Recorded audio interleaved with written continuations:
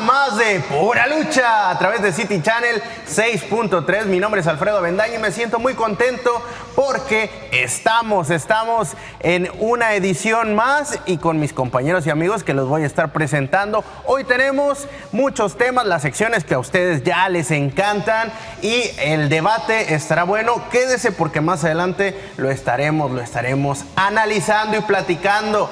Comienzo a mi derecha con mi querido amigo Antonio Crisán. ¿Cómo estás, mi querido Anto? Alfredo, muy buenas noches a todo nuestro querido público. Sean bienvenidos. Ya estamos preparados. Traemos mucha información que va a ser de su interés. Y la semana pasada quedó un debate ahí pendiente, mi querido Capi, entre pecador y el héroe. Vamos a ver en qué termina. El héroe no se presentó ¿Será que día de hoy tendrá miedo. Vamos a ver en qué termina esto. Bueno, pues ha llegado el momento también de presentar a Ale. Ah, ah, caray. Ah, ¿cómo? El pecador.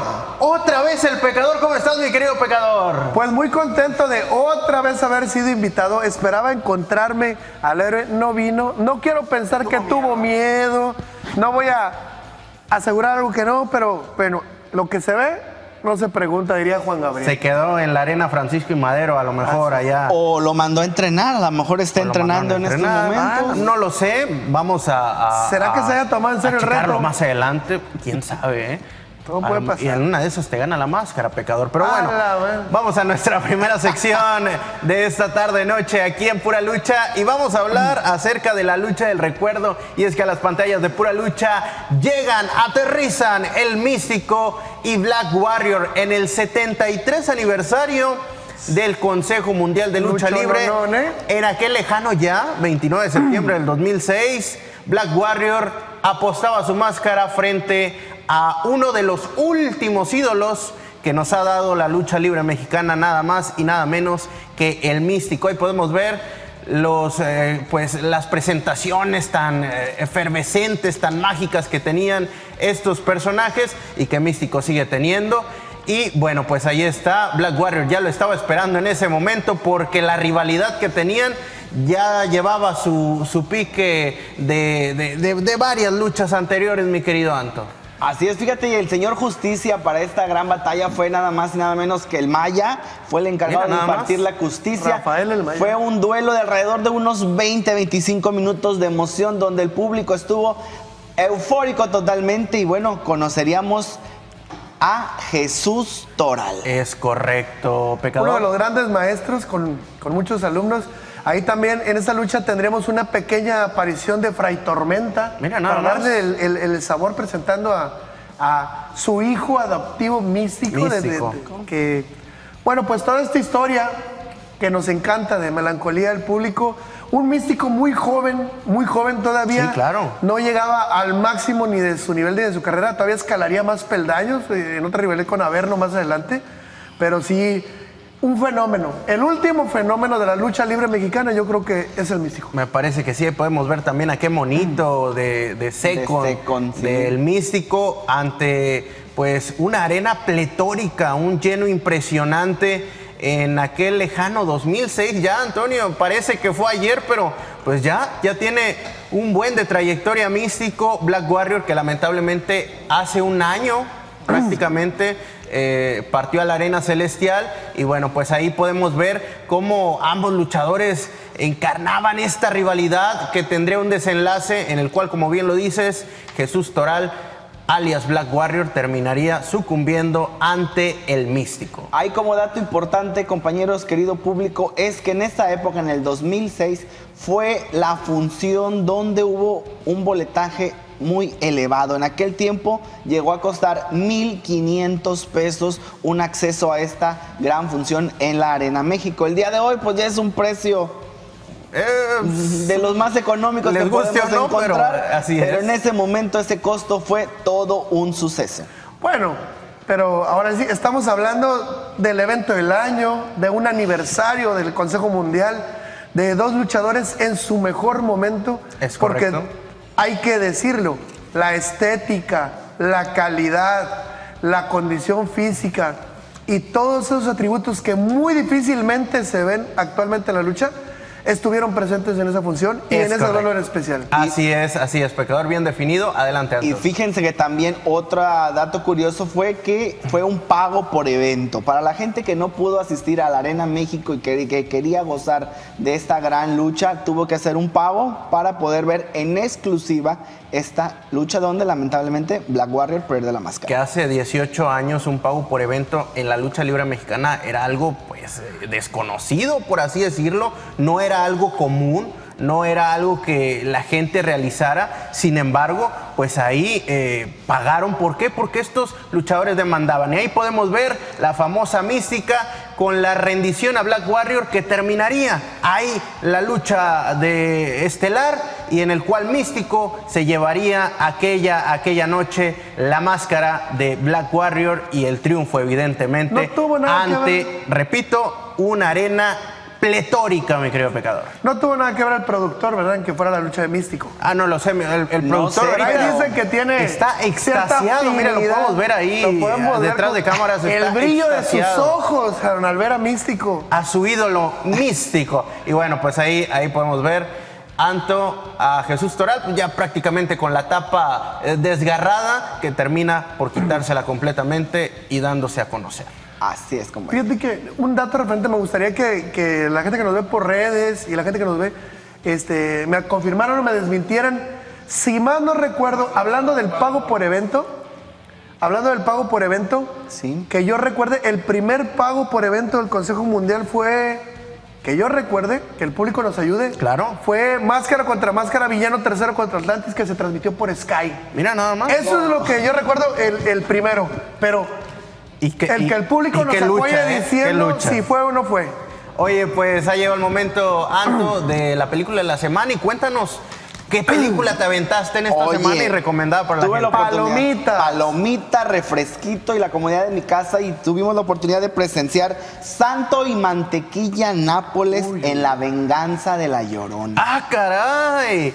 En este crossover de, de los espectros, monstruos que salían eh, disputando ante los luchadores. Mira nada más. La Llorona. La Llorona. Cuéntanos Imagínense una película del 1974 dirigida por Miguel Delgado con el reparto del Santo, el Mascarado de Plata, el Mantequilla Nápoles, Alonso Castaño y Ana Lilia Tobar. Fíjate que la historia circula donde el profesor Esteban Lira, es un historiador, descubre un mito de la Llorona. Antiguamente la Llorona fue doña Eugenia Esparza, que desengañada del amor de un noble, decide poner fin a su vida y a la de sus hijos, pero dentro de su tumba escondería 10 mil doblones de oro.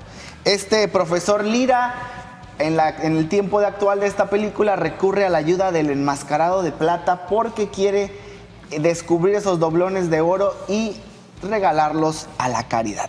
Mira nada más.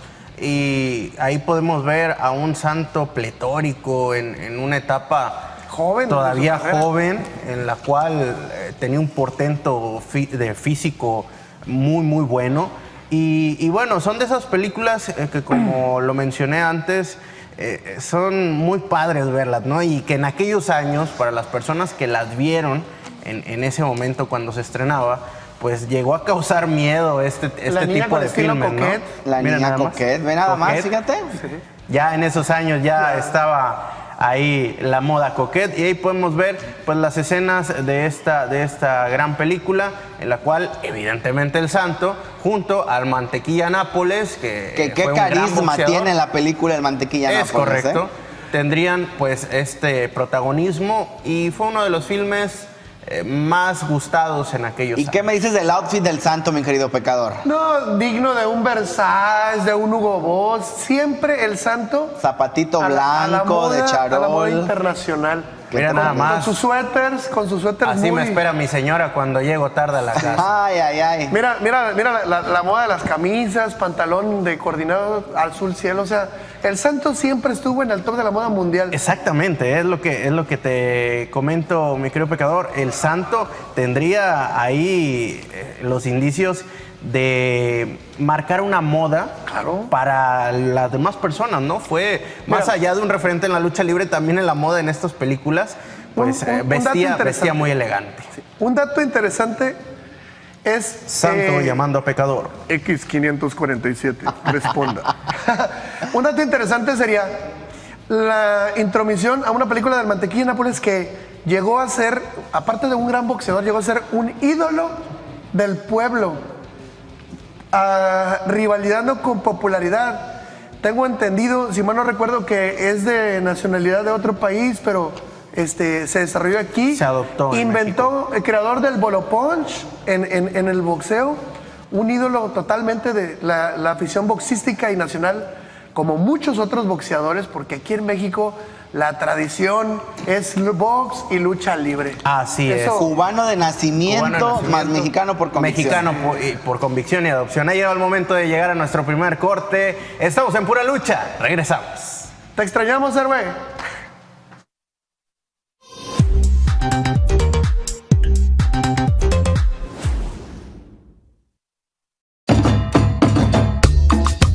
De todo lo relevante del mundo del arte del pancracio en pura lucha.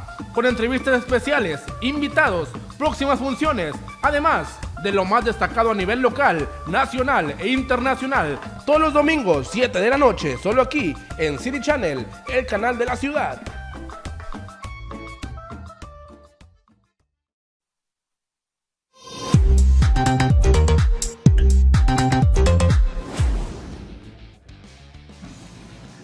Seguimos aquí en Pura Lucha a través de City Channel 6.3.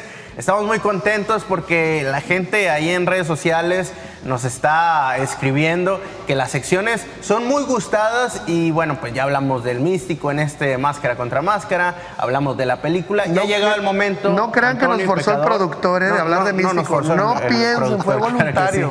Ha llegado el momento de hablar acerca del vuelo del día o el vuelo de la semana, como usted lo quiera llamar. Y aquí en las pantallas de pura lucha aparece ah, Extreme Tiger, uno de los luchadores más impactantes a mi gusto en cuestión de la lucha aérea. la lucha extrema evidente, pero en lo aéreo Extreme Tiger causó un gran furor en aquellos años en la AAA, Antonio. ¿Dónde más pudo haber sucedido ese lance más que en la tres veces estelar, definitivamente? Oye, ¿qué te gusta, pecador? Tú que conoces las medidas de un ring de lucha libre, ¿desde qué altura se nos está aventando en ese momento? Facilito, mira, si más mal, facilito 5 o 6 metros. Imagínate. Sí, es, es, una altura que cualquier persona que no esté preparada puede perder la vida.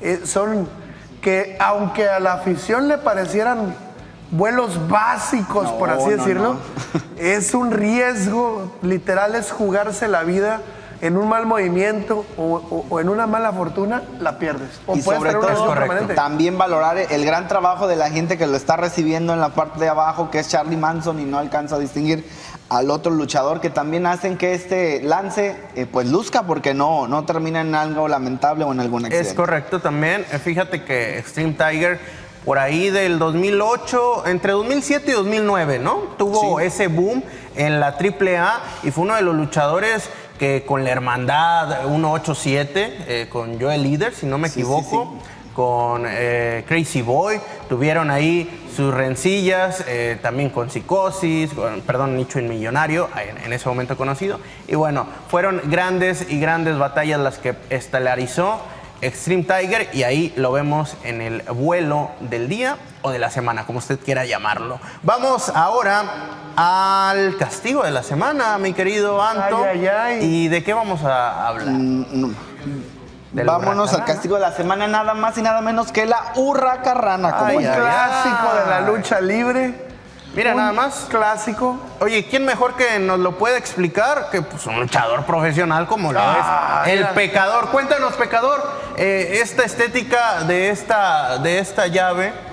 Bueno, esta llave de para, este castigo. para empezar, obviamente la inmortalizó el huracán Ramírez, el príncipe de seda. Sí. Quiero que sepas que actualmente han pasado décadas, se puede ver la huracarrana en las arenas pero aún así no se iguala la técnica depurada como la hacía Huracán Ramírez. Muy pocos luchadores de, después del Huracán Ramírez han tenido la estética necesaria para ejecutarla. Siempre se golpean con la pierna, golpean en la cabeza, sale la huracán descompuesta.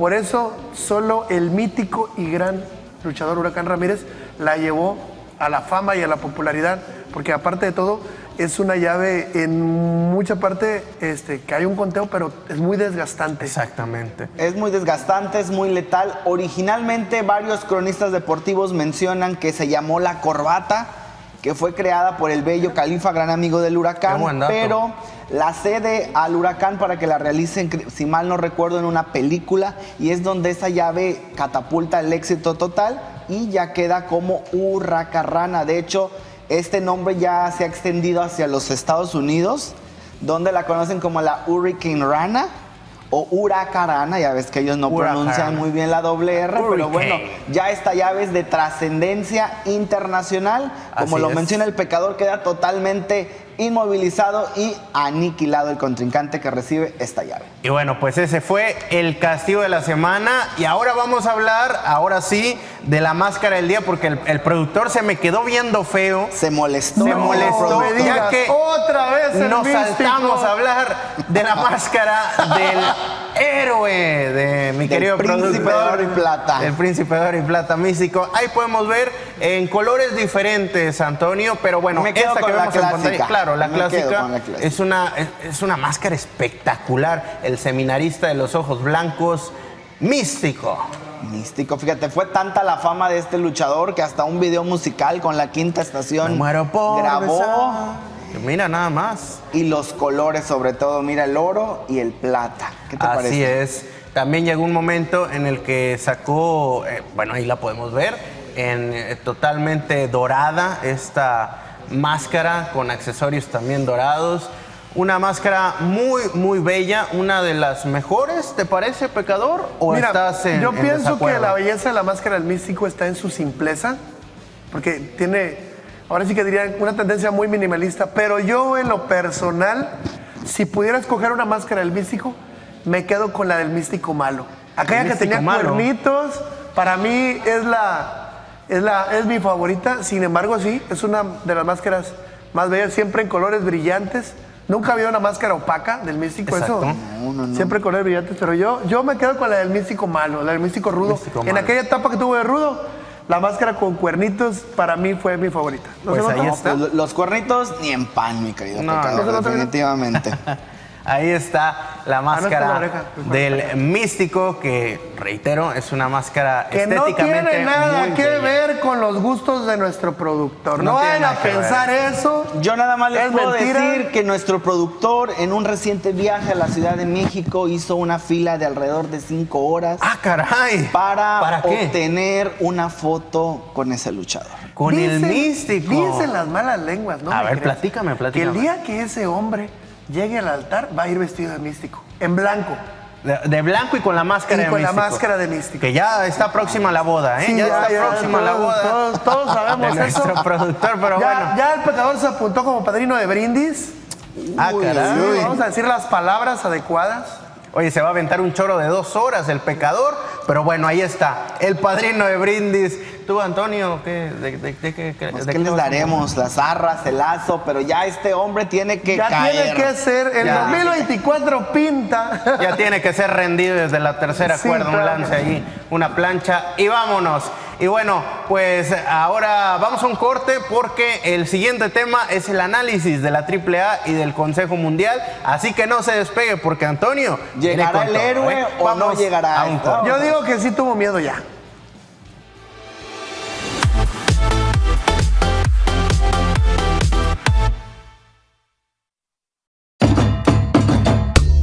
Entérate de todo lo relevante del mundo del arte del pancracio en pura lucha. Con entrevistas especiales, invitados, próximas funciones, además de lo más destacado a nivel local, nacional e internacional. Todos los domingos, 7 de la noche, solo aquí en City Channel, el canal de la ciudad.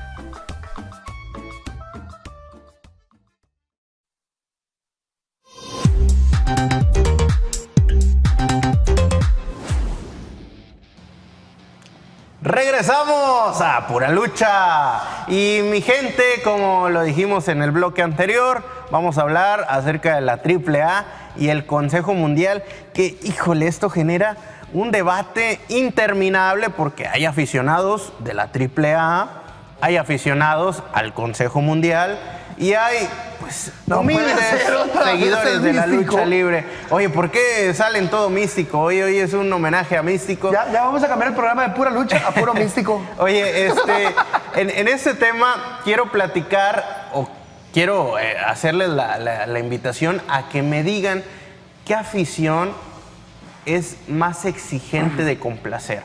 ¿A los seguidores del Consejo o a los de la AAA? Y quiero empezar contigo, Antonio. Pues mira, yo tengo que defender mi empresa, que es la AAA. Ah, ya estás contratado. Ah, claro, ya, estoy contratado, ¿eh? ya soy parte de. Ya me voy a quitar mi apellido, ya voy a ser Peña Errada, casi casi. Ah, Pero bueno, mira, la afición de la AAA, mi criterio, es la más difícil de complacer. ¿Por qué? porque le tienes que ir ofreciendo variedad en sus funciones. Como es una caravana errante, no les puedes ofrecer lo mismo de siempre como pasa pues en las Arena México, ¿verdad? En la Arena México tiene su elenco base, que es el que estamos viendo en cada función. Pero ¿por qué lo haces así, como que menospreciando? No, no, no, no los menosprecio. Ellos tienen su, forma de tener el negocio, de cómo venderla a su público. Su público sí es fiel porque sigue consumiendo este producto, se traslada hacia sus arenas para disfrutar de, de sus funciones pero bueno, yo le doy más ese plus de andar errante, conquistando cada ciudad como lo hace AAA, que a lo mejor me pueda decir el pecador más adelante que también ofrecemos lo mismo, pero pues es, hay variedad, hay luchadores extranjeros, hay polémica, me pueden decir también que hay show, pero la afición de AAA le gusta el producto, el show, la variedad, los lances, los brillos y las luces. ¿De acuerdo o en desacuerdo acerca de la, de la teoría? Totalmente en contra, güey. Y no porque somos amigos, si no lo citaba Antoine en el estacionamiento y ahí vemos quién tiene razón. A ver, pero cuéntanos, eh, ¿para ti el consejo, la afición es más exigente? Me voy a poner filosófico. Ah, media hora de programa. Mira, para empezar hay que definir entre aficionado y fanático. Yo pienso que no es ¿eh? malo, ninguno es mejor que otro, pero la AAA está lleno de fanáticos. Fanáticos que consumen la camisa, el chismecito, el souvenir, la polémica, todo eso que envuelve a la lucha. El principal producto de AAA es un conjunto de cosas para fanáticos. Sin embargo, el principal producto del Consejo Mundial es la lucha libre. Porque pueden ofrecer todo ese tipo de cosas también, edecanes y pero lo que tú quieras, todo lo que reviste, porque es un folclore la lucha. Pero siempre el producto de, del CMLL, del Consejo Mundial, siempre está en el mayor élite posible. No así con la AAA, que a veces revisten tanto una función que realmente el producto, la lucha ya dentro del cuadrilátero deja mucho que desear. Y eso no lo puede negar, Antonio, que a veces las últimas triple manías han decepcionado en su desempeño. Ha sido más una parafernalia antes y después, pero en la función dices tú, lo mismo. Tan solo, mira, hay un tema muy triste que todos los luchadores nos deben hablar, pero cuando fue Dr. Wagner contra Psycho Clone, todos sabemos lo que iba a pasar. Es correcto. Ahora, te voy a poner un ejemplo. Cuando fue Atlantis contra Villano III, dividió al mundo entero. Nadie sabía quién iba a ganar, nadie sabía qué máscara iba a caer. Eso pienso yo que ha perdido la AAA, se ha vuelto muy predecible. Eh, pero también hay que decirlo, eh, hay aficionados, hay fanáticos, pero al día de hoy las nuevas generaciones ya no es tan sencillo de complacer. Antes a los aficionados que pagaban un boleto, que iban a las arenas, que iban a los gimnasios a presenciar la lucha libre, los impresionabas con cosas básicas, Antonio. Ahora el, más. El aficionado, el fanático, el seguidor quiere ver sangre, quiere ver sillazos, quiere ver... Ahora está el famoso grito de lucha extrema. Sí. Y es eh, prácticamente eh, un, producto del cual no terminas complaciendo al, eh, al seguidor, al aficionado, al fanático, al que tú me digas. Es por ello que la lucha libre en este momento ya se hizo eh, pues ya, no impresionas, vaya, ya no impresionas prácticamente con poco o nada a estas nuevas generaciones. Y es por eso, yo creo, a mi criterio, que difícilmente eh, vamos a volver a lo de antaño, que era eh, toda esta espectacularidad que tenía la lucha libre con el presente. No, mira, sí y no. La lucha eh, siempre, es que es mal enfocado, la lucha siempre va a sorprender, va a gustar, la lucha eh, en el centro del cuadrilátero. El problema, el problema radica en la percepción que tenemos. Un aficionado que paga un boleto, se sienta en una silla, sea extrema, sea clásica, lo disfruta. Lo va a disfrutar. lo disfruta y lo consume. El problema es toda esta generación y ejército de niños ratas, de niños ratas que ven en redes, critican, se vuelven, se vuelven expertos, desmenuzan con videos, con expertos de sillón, con análisis. Hay cosas hay cosas que solo se pueden disfrutar en vivo. y una de ellas es, la lucha libre. Es correcto. Yo pienso que nadie de redes, de lo que quieras, tiene derecho a opinar si no ha ido, pagado un boleto. Si no has pagado tu entrada. y disfrutado en, vivo. eso coincido con el pecado. Pues ahí está, este mini debate entre eh, AAA, Consejo Mundial, en los aficionados, fanáticos, seguidores, lo que me quieras decir. Vamos a lo siguiente, Antonio, ¿de qué vamos a hablar? Oigan, compañeros, pues toca hablar de las damas, las damas del ring. Y fíjense que el día de hoy vamos a hablar de una luchadora que está totalmente vigente a nivel nacional e internacional y ella es la señora Cintia Moreno. Adelante Yo pensé que princesa metálica. Cintia Moreno es sinónimo de una gran estrella de la lucha libre. Integrante de la gran dinastía Moreno, encabezada por su padre y sus hermanos, el Oriental, Alda, Esther y Rosy Moreno. Debuta en el año de 1987 en Arena Azteca, Budokan Trabajó para el Consejo Mundial de Lucha Libre y en 1997 se incorpora a las filas de AAA junto a sus hermanas Alda, Esther y Rosy, donde obtuvo el campeonato de parejas mixtas con su hermano el Oriental. Considerada como la única reina de reinas internacional, Cintia Moreno es una leyenda en el ramo femenil de la lucha libre mundial. ¿Qué les parece? Nada más y nada menos esta breve cápsula de la maestra Cintia Moreno. Pues ahí está es creadora del concepto de las brujas en AAA, un concepto devastador. No, y es Rosy. Rosy es la que estuvo en las brujas. No, pero Cintia también, ¿no? No, no, no, Cintia no. ¿Me estoy equivocando? Te estás equivocando. Pido disculpas al público. O que, por redes sociales nos comenten nos digan, y nos digan. Estoy seguro me gusta interactuar con la gente. Que la bruja fue pues, Rosy, pero estamos hablando de la maestra Cintia. Cintia Moreno. Fíjate que ahorita 2023-24 es actualmente campeona de la empresa regiomontana Rompiendo Madres y bueno, sigue vigente, propietaria de la Azteca Arena Budokan, donde cada fin de semana hay bastantes funciones de lucha. Sigue dentro de la lucha libre vigente con giras a Estados Unidos y al Japón. Pues ahí está. De familia luchística, de, excelente luchador oriental en sus tiempos también. Heredera del acorazado moreno, imagínate. Y que su madre también se abrió eh, eh, ámbito, espacio en este negocio como empresaria. Que también ya los dos descansan en paz y ¿Regresará acaso a AAA Orígenes Cintia ¿Habrá una tercera generación de los Moreno? Fíjate que en redes sociales, eh, Cintia Moreno, por ahí llegué a ver que es solicitada también en este regreso, entre algunos otros luchadores, pero son luchadoras que dejaron su huella, que dejaron ahí plasmado grandes recuerdos en la AAA. Mira, fíjate, un comentario aparte. Si, eh, si en Orígenes le incluyen, o sea, soñar no cuesta nada, pero las tóxicas no tendrían nada que, no las de mérito, nada que hacer con gente como Lady Apache, Cintia, Rosy, desgraciadamente ya no está en condiciones. pero imagínate que llegaron a Marta Villalobos. No, bueno. Era una O en su momento una Xochitl jamada, imagínate. Ah, no, otro nivel. pero bueno, no es por presumir ni sonar presuncioso, pero tengo el honor de que la maestra Cintia Moreno sea mi amiga y nos manda este saludo. No me digas.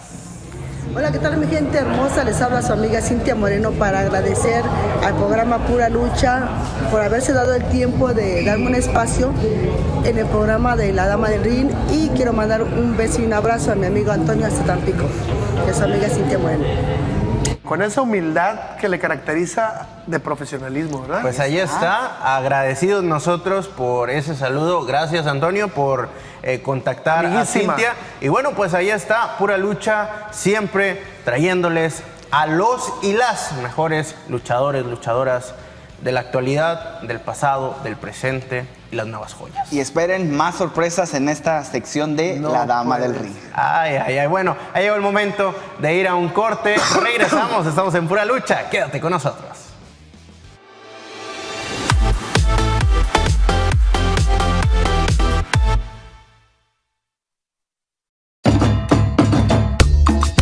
De todo lo relevante del mundo del arte del pancracio en pura lucha. Con entrevistas especiales, invitados, próximas funciones, además de lo más destacado a nivel local, nacional e internacional. Todos los domingos, 7 de la noche, solo aquí en City Channel, el canal de la ciudad.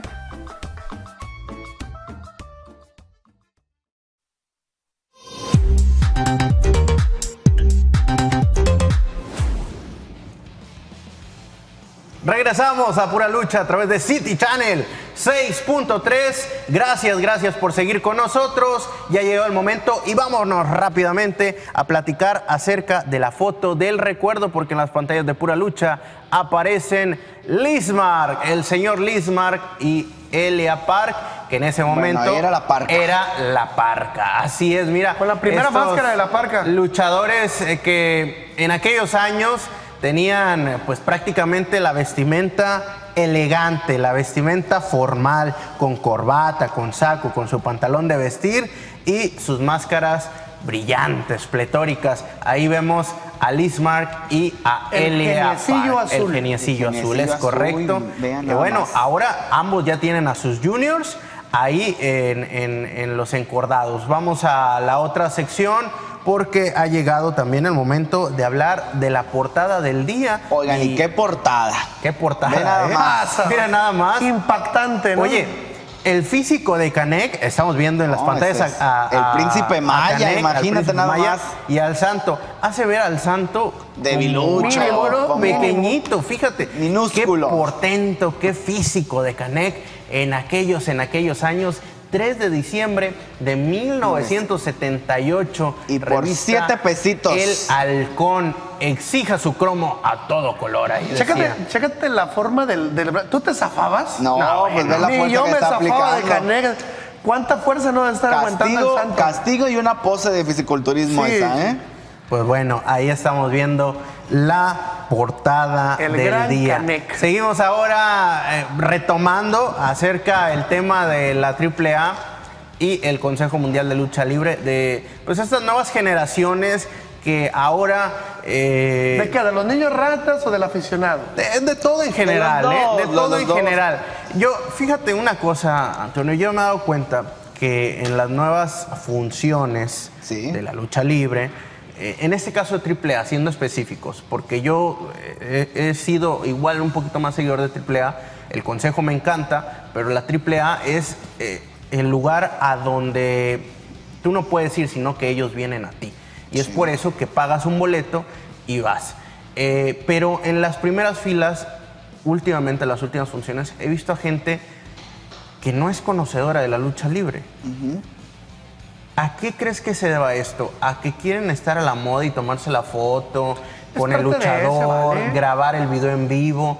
¿O qué sensaciones te deja a ti o estás en desacuerdo conmigo? Yo creo que a lo mejor sí es una moda, un, un bluff de que estoy en primera fila o estoy transmitiendo en vivo la función.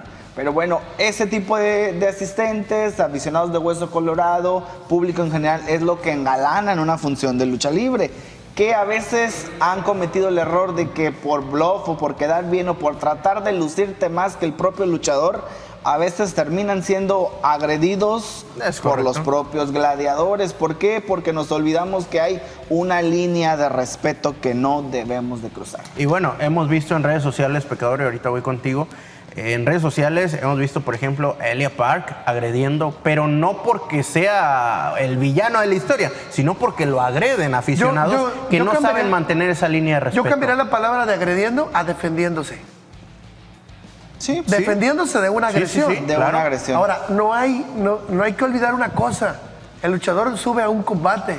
Va a Traes la trabajar. adrenalina al 100, la agresividad al 100, este, la estamina al 100. Y tú, como aficionado, pretendes agredir de cierta manera. No esperes otra reacción que no sea algo así. Es, es imposible. Que, imagínate, estás recibiendo golpes, traes la adrenalina.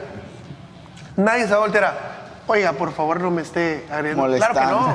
O sea, claro. esa es la realidad. Y si estás en medio de un combate, pues puedes pensar que es el contrincante y también te toca. Ahora fíjate que un punto que tocaste, los el bluff o, no sé, en mis tiempos noventeros se puede decir la, gente poser o, algún modo que la que no es aficionada, no conoce de lucha, pero va a la primera fila. el chochazo, mi Se toma la selfie y, dice aquí estoy en primera fila en cualquier yo pienso que se vale y es positivo, porque para que el negocio progrese y funcione, tiene que haber todo tipo de público. El problema es cuando ya se meten más de lo normal, como dice mi querido Antoine. Así, de bote pronto y con rápida definición.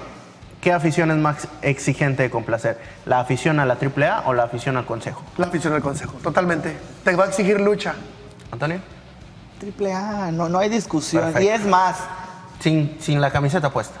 Espérate, hablando de camisetas, vamos a estar, estén pendientes de nuestras redes sociales porque vamos a estar regalando una playera de las tres veces estelar. Comprando a la afición. Original, porque quiero ver a todo el público de Pura Lucha y del 6.3 de City Channel uniformados y que digan yo pues. soy triple A. Así que estén al pendiente de nuestra Lo único que puedo decir es que el Consejo Mundial. Porque lanzaremos la dinámica. No lo llevamos en la camisa, lo llevamos en el corazón. Oye, no te quedes atrás, pecador, regala también algo de la mafia tan pequeña, mínimo un saludo, un beso del pecador, no sé. ¿Sabes qué? A ver. Vamos a regalar una camiseta de la mafia tan pequeña. Mira nada más, ya lo comprometí. Y tú pon la dinámica. Vamos ahí en redes sociales. que es el encargado de la marca La Mafia tan pequeña. Ahí nos ponemos de acuerdo, señor productor, para los regalos a todos los seguidores dos dinámicas de Pura Lucha. Y que vengan, que vengan aquí por su regalo. Claro que sí, aquí, ¿Y qué opinan? Aquí. ¿Qué prefieren, claro. el Mundial o la Triple El micrófono está abierto para todos los aficionados. Vamos rápidamente Oigan. con... A ver, ¿con qué vamos a hablar? El héroe no llegó. No se presentó. No se dignó a darle la cara al pecador. ¿Pero qué creen? Todo miedo. Nos mandó un video. Ah. O sea, de metiche huele moles. Vamos a ver. Siempre. Adelante. Gracias compañeros, los saludo con gusto ahí en el estudio y vamos a platicar de lo que ocurrió este domingo 28 de enero ahí en la arena Francisco y Madero, la casa del dolor ajeno en Altamira, Tamaulipas y es que se enfrentaban los perros de la MSK en contra de la peste verde. Por parte de los perros aparecían Black Master, Reptilius y el experimentado Silver Fox y por parte de la peste verde el Rey Cannabis acompañado de Black Star, el de San Luis Potosí y Sombra de Dragón. Estas dos facciones estaban disputando la supremacía del territorio ahí en Altamira, Tamaulipas. Fue una lucha durísima. Estaban empatados a una caída por bando y en la última y definitiva bueno, pues las acciones llegaron hasta abajo del cuadrilátero. Andy el elegante tuvo que contar los 20 segundos de rigor y ninguno de los seis gladiadores alcanzó a regresar al cuadrilátero, por lo cual se decretó un empate. Por supuesto que esto no va a quedar así, vamos a esperar a ver qué pasa, seguramente habrá una revancha, por lo pronto quedaron tablas, los perros de la MSK y la peste verde. Y en la lucha estrella, el esperado duelo de máscara contra máscara, Eclipse en contra del vampiro negro. Hay que recordar que el antecedente más cercano es que Eclipse, el rey de los mares, y el vampiro negro hicieron pareja hace un mes aproximadamente y Vampiro Negro lo traicionó de esta manera. Bueno, pues llegaban al duelo de máscara contra máscara, pero había un ingrediente más porque estaban en juego las cabelleras de el director general de promociones Cobra, don Antonio Rojas y por supuesto también del licenciado Pedro Miguel Martínez Pacheco. El licenciado Pedro Martínez apoyaba al vampiro negro, mientras que don Toño apoyaba a Eclipse. Estaban las cabelleras en juego.